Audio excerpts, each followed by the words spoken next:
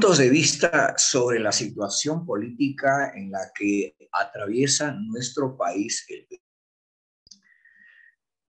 Como ciudadano, como del sector de la micro y pequeña y mediana empresa, como hombre de campo, como padre de familia y como buen soldado formado en el ejército peruano, debo señalar lo siguiente. Es hora que mujeres y hombres no seamos los borregos de nadie. Lo que está sucediendo en nuestro país hace varios años, hoy se agudiza, es una interacción eh, malintencionada por ambiciones más de poder en beneficio de determinados intereses que de la propia población. Lo que estamos observando en estos últimos tiempos, el accionar del Ministerio Público, por ejemplo, la presentación de la fiscal de la Nación ante el Congreso de la República, eh, señalado por diferentes expertos, no encuentra realmente la salida de los elementos en la que ha incurrido el presidente Pedro Castillo. Sin embargo, el ruido y la bulla está cada vez más fuerte. Va a polarizar entre los mismos congresistas con el Poder Ejecutivo y con la población. Por otro lado, el presidente Pedro Castillo es verdad que tampoco está acertando con un plan que sea sólido y sostenible, cumpliendo metas. Lo mismo de siempre, ofrecimientos para salir de la tensión, de la presión del momento, pero poca realidad en los hechos. Y a eso se suma, sin duda, el accionar de los ciudadanos. Veo movilizaciones por todos los lados, en algunos casos justificada, porque no hay otra forma de hacerse escuchar su preocupación.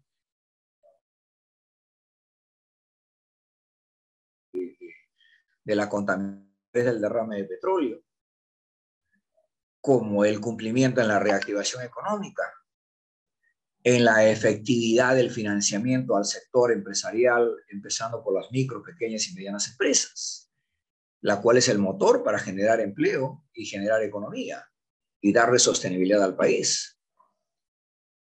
Está más entrampada la situación en los dimes y diretes, si es de la izquierda o es de la derecha, y quién incurrió, quién llamó por teléfono o con quién se sentó. Este es un tema que tiene que definirlo sin duda las instancias a las que le corresponde. El Ministerio Público está para investigar y el Poder Judicial para desarrollar su proceso y dictar las medidas que correspondan. Es decir, sentenciar a quienes hayan incurrido en el delito. Pero no llevarnos a la población a un enfrentamiento por dimes y diretes. Que yo me siento con fulano, que no hablo con fulano, eh, que el ministro es de mala onda, que eh, etcétera, etcétera. Esto no ayuda a nuestro país. Yo estoy en una región, estoy en el Alto Mayo, en la región San Martín, y estoy permanentemente en el campo, en los caserillos, en las comunidades, y de aquí viajo al resto de las regiones, a las poblaciones. Nuestros pueblos están abandonados, necesitan conectividad.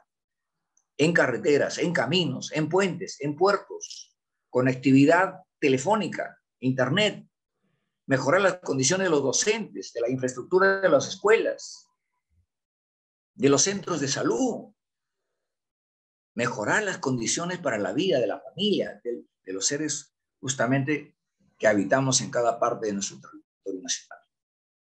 Creo firmemente que la solución no está ni por la izquierda ni por la derecha, que ambos han entrado a un entrampamiento basado en odio, en venganza, no están presentando soluciones reales, señores.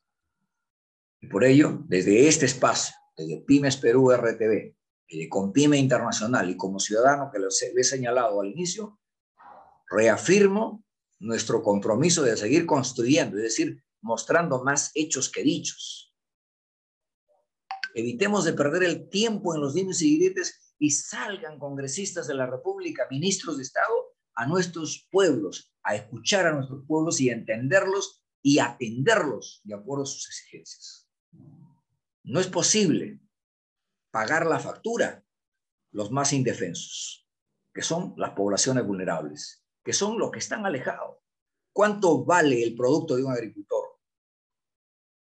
¿Cuánto se está invirtiendo en la mejora del manejo del agua, del manejo ambiental, de la seguridad alimentaria? ¿Cuánto? ¿A cuánto asciende ese presupuesto? Esta llamada de atención nos lleve también a reflexionar privado, a los profesionales independientes, a los técnicos, y vamos entonces ciudad al mundo como ciudadanos globales y competitivos sin caer en las trampas de los dimes y diretes de los llamados izquierdas y derechas. El ayer ya fue, trabajemos hoy para el mañana, por este país a la cual todos nosotros tenemos la responsabilidad de sacar adelante. Vamos para adelante.